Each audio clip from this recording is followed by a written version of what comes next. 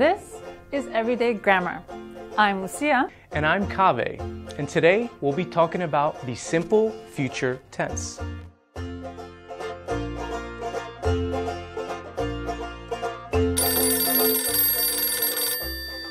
Hello. Hi, Lucia.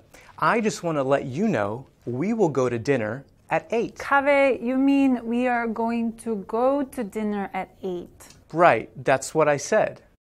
I think you're getting your future tenses mixed up. Let me explain. Will.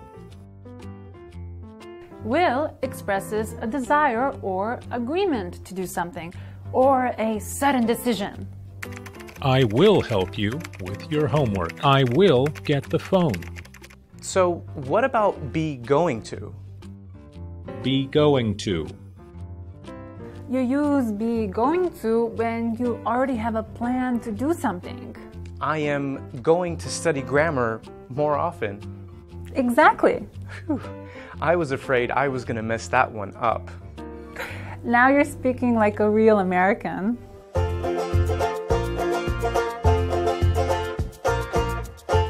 Remember, when you want to make a prediction about the future, you can use will or be going to. The meaning is the same. I will be famous someday. Or, I am going to be famous someday. Thanks so much for the grammar lesson. So, are we going to have dinner tonight or what? Sure. I'll pick you up at 7:30. And that's everyday grammar.